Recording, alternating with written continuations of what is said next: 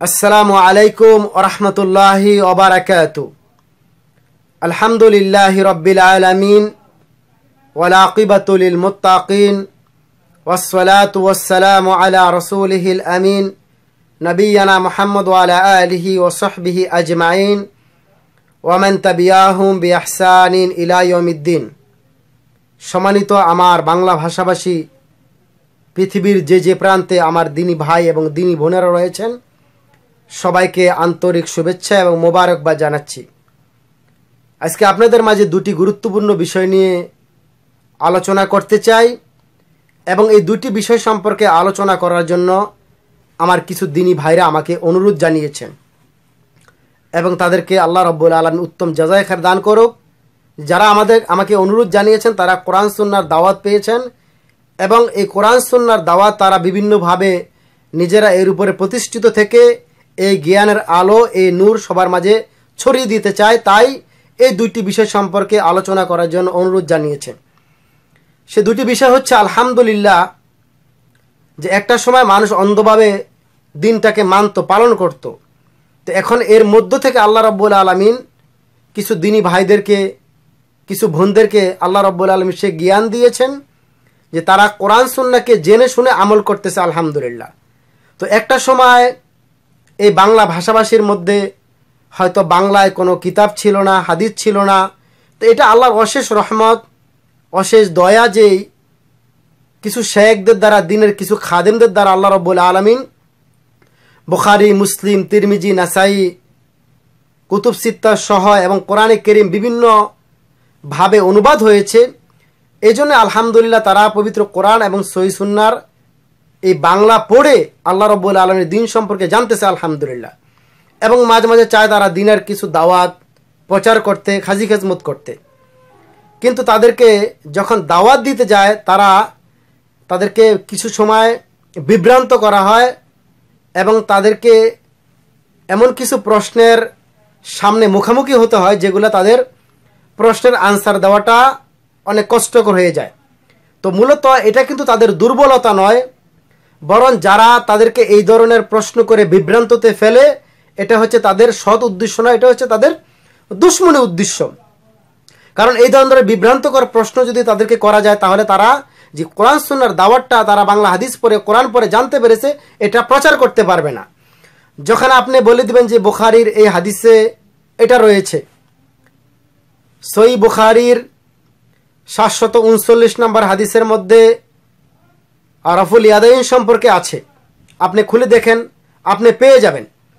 যখন আপনাকে আপনি এই দিনে দাওয়াত পৌঁছাইতে যাবেন অথবা কোরআন কেরমের একটি আয়াত রয়েছে যেখানে আল্লাহ রব্বুল আলমিন বলেছেন, আতিউল্লাহ ও আতিউ রসুল ওয়াউলিল আমরি মিনকুম ফাইন তানা জা তুম ফি শাইম ফারুদ্দুহুল আল্লাহ রসুল, তোমরা আল্লাহর আনুগত্য করো, রাসুলের আনুগত্য করো এবং তোমাদের মাঝে উলিল আমরদের আনুগত্য করো। তো তারা যখন উলিল আমরের ব্যাখ্যা করতে যায় যে না, পীরকে ধরতে হবে, কোনো মুরিদকে ধরতে হবে, মাজার ধরতে হবে, কোনো বাবাকে ধরতে হবে তখন এই কোরআন পুসুন ছেলেফেলেরা বলে, এখানে তো এই কথা বলা হয়নি। কারণ তারা কোরআনের বাংলা অনুবাদ পড়ে বিষয়টা কিন্তু তারা জানতে পেরেছে। তখন তাদেরকে প্রশ্ন করা হয়, এটা কিসের সিগা? এটা কি আমরের সিগা? এই ধরনের কিন্তু প্রশ্ন করা হয়। এটা কি হরফে নাদা? তো এই ধরনের প্রশ্ন সাধারণ তারা হয়তো বাংলা লেখাপড়া করেছেন। তারা তো এই বিষয়গুলো বুঝে না। আসলে তাদের মাঝে সুস্পষ্ট দিনের দাওয়াত পৌঁছানোর জন্য মানে তারা যে হাদিস পড়ল, কোরআন পড়ল, এবং একজনের কাছে প্রচার করছে যে এটা হাদিসে রয়েছে, এই আপনি হাদিস করে দেখেন। তো এইটা প্রচার করার জন্য সেই সাধারণ ব্যক্তিকে কি হরফে নাদা জানার প্রয়োজন রয়েছে? তাকে কি এটাকে আমরের সিগা নাকি নাহার সিগা, এটা কি জানার কোনো প্রয়োজন রয়েছে? এটা কিন্তু সাধারণ লোকের জানার প্রয়োজন হয় না। এবং সাধারণ লোকের এটা তাদের জন্য জানা প্রয়োজন যারা সাধারণ ছোট সময় থেকে লেখাপড়া করতেছে, যারা হাদিসের অনুবাদ বুঝতে চায় গ্রামার বুঝতে চায়, যে কোনো একটা শব্দ তারা পড়লে এটার গ্রামার কি, এটা এটা কিসের শিখে, এটা বুঝতে পারবে। কিন্তু সাধারণ লোকের জন্য এটা কিন্তু বোঝা জরুরি। এটা হচ্ছে তাদের মূলত একটি দুষ্ট উদ্দেশ্য করে তারা কিন্তু এই ধরনের প্রশ্নগুলো করে থাকে। তো এই ধরনের বিভ্রান্ত করে আমাদের দিনী ভাইরা পড়ে এবং তারা নিজেরা নিজেরা অনেক কষ্ট পায় এবং এবং আমাদের কাছে আমাদের কাছে এগুলো এসে প্রকাশ করে। তো সেসব দিনী ভাইদের জন্য আমার নসিহত হচ্ছে সুরা কাহাফের মধ্যে আল্লাহ রব্বুল আলমিন বলেছেন ফালা আল্লাহ বাখিউন নাফসাকা আলা আসারিহিম ইল্লাম ইউমিনু বিহাদাল হাদিস আসাফা। অর্থাৎ হে হে নবীকে আল্লাহ রব্বুল আলম বলে দিচ্ছেন যে, আপনি যে দিন, সত্য দিন নিয়ে আসছেন, তারা যদি এটার প্রতি বিশ্বাস না করে, আপনাকে কষ্ট দেয় বা আপনার তারা যদি এটাকে অস্বীকার করে, তো আপনি কষ্ট পেয়ে নিজের জীবনটা আপনি নষ্ট করে দিবেন না। নিজের জীবনটাকে আপনি হুমকির দিকে ঠেলে দিবেন না। তো আমার ওসব দিনী ভাইদেরকে আমরা এটাই বলব যে আপনারা দাওয়াত পোষাইতে থাকেন, এটা হচ্ছে তাদের দুষ্ট উদ্দেশ্য। আপনাকে প্রশ্ন করে দিবে এটা কি হরফে নাদা কিনা এটা কি আমরের শিখা কিনা। তো এটা হচ্ছে তাদের মূলত বাজে উদ্দেশ্য। এক নম্বর পয়েন্ট। আর দ্বিতীয় বিষয় কিছু ভাই প্রশ্ন করেছেন। আরেকটি বিষয় আমি একটা বলব, তারা হচ্ছে যারা এই ধরনের প্রশ্ন করে থাকে, এরা হচ্ছে যে মোকাল্লেদ। আল্লাহ রব্বুল আলমিন কিন্তু কারও মোকাল্লেদ থাকার থাকার কথা বলেন নাই। দেখেন, আল্লাহ রব্বুল আলমের বিধান স্পষ্ট। শুধু যে আপনি কোরআন মানবেন, আপনি শুধু কোরআন মানলে চলবে না, সাথে আপনাকে হাদিস মানতে হবে। শুধুই যে আপনি হাদিস মানবেন, কোরআন যে মানবেন না, তাও কিন্তু চলবে না। আচ্ছা আপনি হাদিস মানলেন, কোরআন মানলেন, হাদিস কোরআনের পরে এটাকে আপনার জন্য যথেষ্ট হলো, না। তারপর আল্লাহ রবুল আলম বলছে, তুমি কারও অন্ধ মুখাল্লেত না, তোমাকে একজনে বলে দিল এটা হাদিস, তোমাকে এটা বলে দিল এটা কোরআন, তারপর তুমি কোনো আমলের কোনো আলেমের কাছে যাও। ফার্স্ট আলু আহলে জিক্র ইনকুম তুল্লাহ তালামুন। তোমরা কি করো? কোনো আলেমের কাছে যাও। এইটা সম্পর্কে জিজ্ঞাসা করো। আল্লাহ বলো নাই যে তুমি নিজের মতন করে নিজে কোরআনের ব্যাখ্যা করো। অর্থাৎ মোকাল্লে থাকার কথা বলে নাই। তারপর শুধু রাসুলের হাদিসই মানো, কোরআন মানার দরকার, এটা কিন্তু আল্লাহ রবুল আলম বলেন নাই। তারপরে বলেছেন কি? ফাইন তানাজা তুম ফি শাইম কোরআন যদি মানো, হাদিস মানার পরে যদি কোনো আলেমের কথাবাতি মানতে মানতে গিয়ে যদি দেখো তাদের মধ্যে দ্বিধাদ্বন্দ্ব দেখো, তাহলে কি করো? ফারুদ্দু ইল্লাহি ও রসুল, রসুলের দিকে এবং আল্লাহর দিকে প্রত্যাবর্তন করো। তাহলে কিন্তু আল্লাহ রবুল সেখানেও কিন্তু বলে নাই যে শুধুই আপনি হাদিস মানবেন, শুধুই কোরআন মান কোরআনও মানতে হবে, হাদিসও মানতে হবে। পাশাপাশি উলিল আমরদের হাদিস কোরআনের ব্যাখ্যাকারী যারা রয়েছে, তাদের কথাটা মানবেন। কিন্তু তাদের কথার মধ্যে যদি কোনো ভেজাল দেখা যায়, কোনো সমস্যা দেখা যায়, তাদের কথাটা আপনি মানা জরুরি নয়। তাদের কথাটা আপনি মানা জরুরি নয়। কারণ তারা মূলত বলে থাকে, কোরআন সুন্না এজমা কেয়াস। কোরআন আপনি মানবেন নিঃসন্দেহে, হাদিসও মানবেন, এবং এজমাও মানবেন। এক এজমা সাহাবেকের আমাদের ঐক্যমত মানবেন। এখন কেয়াসও আপনি মানবেন, কিন্তু কোন কেয়াসটা আপনি মানবেন? কেয়াস যুগে যুগে থাকবে। কোরআন হাদিসের ভিত্তিতে যে কেয়াসটা হবে, সেটি তো আপনি মানতে রাজি। তারা বলে থাকে, চার মাজাবের উপরে মুসলিম উম্মার এজমা হয়ে গেছে। এটা কখনো হয়নি, মিথ্যা কথা। চার মাজাবের উপরে হ্যাঁ। মুসলিম উম্মার মধ্যে এই যে কেয়াসের উপরে এজমা হয়েছে, যে ইসলামের এই দলিলগুলো, কোরআন সুন্না এজমা, কেয়াস, এর উপরে এজমা হয়েছে। কিন্তু চারটি মাজাবের উপরে কিন্তু এজমা হয় নাই। চারটি মাজাবের উপরে এজমা হয় নাই। মাজাব অনেক আছে এবং যুগে যুগে অনেক মাজাব, অনেক ইমাম আসতেই থাকবে। তারা কোরআন ব্যাখ্যা করতেই থাকবে। আলহামদুলিল্লাহ, আর এই কোরআন ব্যাখ্যা করা মানে ইসলাম জীবিত থাকা। এখন আসি সুন্না সম্পর্কে। বেদাত সম্পর্কে, দুঃখিত, বেদাত সম্পর্কে আলোচনা করার জন্য তিনি বলেছেন যে তখন আমরা বলি যে না, সবে বেড়াতের হালুয়া রুটি বেদাত, সম্মিলিত মুনাজাত বেদাত, তারপরে নতুন বছর পালন করা বেদাত, ঈদে মিলাদের দিন পালন করা বেদাত ঘর মাসাক করা বেদাত। যখন আমরা বেদাতের সংজ্ঞাগুলো দেই, তখন তারা আমাদের কিছু সাধারণ দিনী ভাইদেরকে দুষ্ট চক্র তারা কি করে? মোবাইল ছিল না, রাসুল সাল্লাহ সাল্লামের যুগে, তাহলে তো এটাও বেদাত কারণ এটা তো নবাবিষ্কৃত। বিমান ছিল না, এটাও তো বেদাত। হেলিকপ্টার ছিল না, এটাও বেদাত। রেলগাড়ি ছিল না, এটাও বেদাত। তাহলে ওগুলো আপনি কি করে আমল করতেছেন? এগুলো করেন না। এরা হচ্ছে গাদা। কারণ এদেরকে আল্লাহ রব্বুল আলমী দিনের এলেম দান করে না, দিনের জন্য চেষ্টা করে না। আল্লাহ রব্বুল আলম দিনের এলেম কি করে দানবে? এই গাদারা বুঝে না যে দিনের ক্ষেত্রে সুস্পষ্ট দলিল তো আছে কোরআন এবং সুন্না আপনি যদি মানেন এজমা কেয়াস মেনে নিলেন। এজমা কেয়াস আপনি মেনে নিলেন। কোরআন সুন্না পরে এজমা কেয়াস আপনি মেনে নিলেন। তারপরে এটার বাহিরে আপনি যা কিছু নতুন নতুন আবিষ্কার করবেন সেটি তো বেদাত। আর দুনিয়ার ক্ষেত্রে বেদাত করলেও কিন্তু সেটা বেদাত হবে, আর দিনের ক্ষেত্রেও করলেও আপনার বেদাত হবে। কিন্তু দুনিয়ার ক্ষেত্রে বেদাতটা আপনার জন্য বৈধ। আপনি বিমান তৈরি করলেন, হেলিকপ্টার তৈরি করলেন নতুন কোনো প্রযুক্তি তৈরি করেন সেটা আপনার জন্য বৈধ, কারণ এটা আপনার দিনের অন্তর্ভুক্ত নয়, এটা আপনার দুনিয়ার ক্ষেত্রে। আর দিনের ক্ষেত্রে তো কিতাব আল্লাহি অসুন্নতি তারাক তুফিকুম আমরাইন। আল্লাহ রব্বুল আলম কি বলে, রসুল কি বলেছেন? তারাক তুফিকুম আমরাইন, আমি তোমাদের মাঝে দুটি জিনিস রেখে যাচ্ছি। কিতাব আল্লাহি অসুন্নতি তোমরা আল্লাহর কিতাবকে আঁকড়িয়ে ধরো এবং রবির সুন্নতকে আঁকড়িয়ে ধরো। যদি এ দুটাকে তোমরা আঁকড়িয়ে ধরতে পারো, কি করবা? কি করতে, কি হবে? লান তাজিল্লুমা তামাসাক্তুম বিহিমা কিতাব আল্লাহি ও সুন্নতি। এ দুটার পরে তোমরা যে আঁকড়িয়ে ধরো তা তোমরা বিচ্ছিন্ন হবে না। এখন এর পরে নতুন নতুন দিনের ক্ষেত্রে তো আপনি বেদাত হবেই।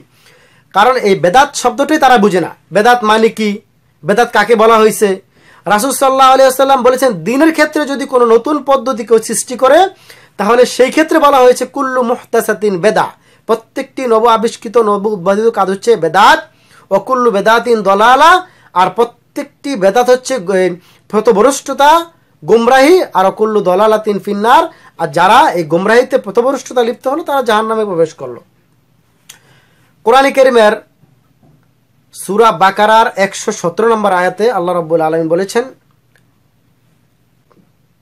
আল্লাহ রব্বুল আলমিন সর্বপ্রথম নমুনাহীন ছাড়া মানে কোনো পূর্বের কোনো নমুনা ছাড়া আল্লাহ রব্বুল আলমিন আসমান জমিন সৃষ্টি করলেন।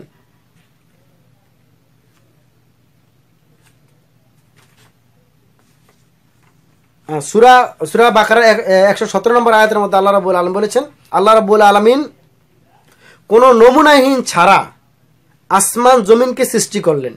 তার মানে নতুন কোনো সৃষ্টি করা সেটা হচ্ছে বেদাত। কিন্তু দিনের ক্ষেত্রে আপনি বেদাত করতে পারবেন না, কারণ দিনের ক্ষেত্রে তো আপনি সুস্পষ্ট দলিল আছে। কিতাব আল্লাহি অসুন্নতি আল্লাহর কিতাব এবং নবী সুন্নার পরে আপনি দিনের ক্ষেত্রে কোনো কিছু বেদাত করতে পারেন না। কারণ তাহলে তো আপনি নতুন নবী হয়ে গেলেন অথবা নতুন নতুন আল্লাহ হয়ে গেলেন, নতুন রব হয়ে গেলেন, অথবা নতুন বিধান প্রণয়ন দাতা হয়ে গেলেন। তো নতুন বিধান প্রণয়ন দাতা তো আপনি হতে পারেন না, কারণ নতুন বিধান প্রণয়ন তো আল্লাহ রব দিনকে কমপ্লিট করে দিয়েছেন। আলিয়ম আকমাল তুলাকুম দিন আকুম ও আত্মাং তো আলাইকুম নেমাতি ওরদিতুলাকুমুল ইসলাম দিনা। আল্লাহ রবুল আলম তো বলে দিয়েছেন, আজকে তোমাদের দিন Islam complete Islam is the complete দিনের উপরে কোনো কিছু আপনি দিনের মধ্যে সংযোজন করাইতেও পারবেন না এবং দিনের থেকে কোনো কিছু নামাইতেও পারবেন না, কমাইতেও পারবেন না, বাড়াইতেও পারবেন না। দিন কমপ্লিট নেয়ামতো কমপ্লিট তাহলে দিনের ক্ষেত্রে আপনার নিজের খেয়াল খুশি আমল করা হচ্ছে, করা যাবে না। দিনের ক্ষেত্রে মূল শরীয়তের হুকুম হচ্ছে, আমল করা যাবে না, করা যাবে না। কিন্তু যেখানে আপনি দলিল পাবেন, সেখানে আপনি আমল করবেন। দলিল নাই, আমল করতে পারবেন না। আর দুনিয়ার ক্ষেত্রে আপনি করতে থাকেন করতে থাকেন। যেখানে আপনাকে স্টপের কথা বলা হয়েছে, সেখানে আপনি স্টপ থাকবেন। আপনি ব্যবসা বাণিজ্য করতে থাকেন, কোনো অসুবিধা নেই, যত রকম ব্যবসা আছে। কিন্তু যেখানে দেখব যে না, এখানে সুদ রয়েছে, এই ব্যবসা করা যাবে না। যেখানে বলা হয়েছে এই ব্যবসার মাধ্যমে মানুষের ক্ষতি হবে, এটা করা যাবে না। তাহলে দিনের ক্ষেত্রে আপনি ব্যক্তিগত আমল করতে পারেন না।